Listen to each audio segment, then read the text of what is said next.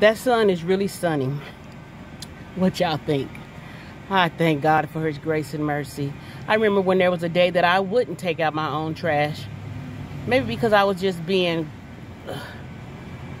I'm not really a lazy person, but maybe because I was just being... I don't know what was I what I was being, but I was being irresponsible because I should be responsible for my own actions and what I throw in the trash can and what goes out.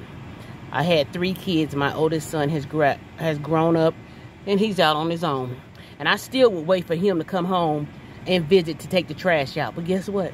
Now I don't have to do it. I can take my own trash out. Mm-hmm. Mm-hmm.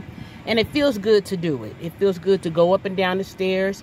It feels good to walk up and down the sidewalk.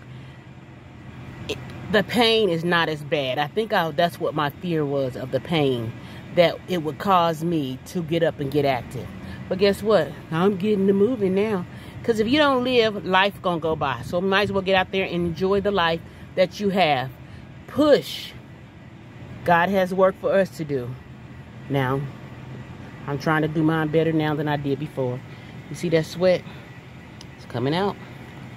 I didn't clean the house, did the dishes. My sink is clean. No dishes are in the sink. Trash is out. Floors are swept.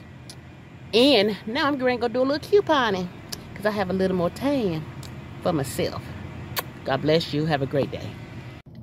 I meant to say, while you're out here getting your exercises in and getting to moving, make sure you stay hydrated.